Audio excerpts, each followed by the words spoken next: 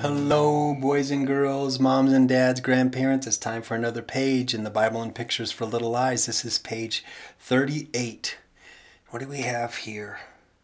We have an old man sitting down. He's got one of his hands on the head of a little boy, and, and then his, he's reaching out to a man wearing, looks like an Egyptian turban. Huh. Let's find out what this picture's all about.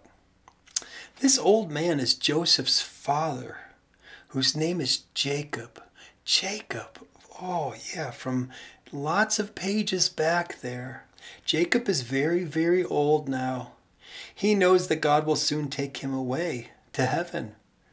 And Jacob is talking to Joseph. So that's Joseph there in the Egyptian turban. Yeah. And those are Joseph's two boys. And he's asking God to be kind to the two boys. Jacob is blessing the two boys, and he's praying to God about them. He is asking God to take care of them and to help them. Hmm. It's pretty neat. It's pretty neat when we can have grandparents and parents and people that will bless us and help us and and pray that God will bless us and strengthen us and give us the, the wisdom we need to make good decisions. Yeah, it looks like Jacob loves his Joseph and his grandsons very much. So, here are the questions that go along with this story. Number one, who is this old man? That's that's Jacob. Yeah, that's Jacob. He's the man who had the dreams about the about the angels going up and down the ladder. Do you remember that? Yeah. Number two, where's he going to soon? Yeah, Jacob is going to heaven pretty soon. He's very old. Number three, who is who is Jacob talking to? Well, he's talking to Joseph, his adult son, and Joseph's two boys that were born in Egypt. Yeah. And number four, what is he saying?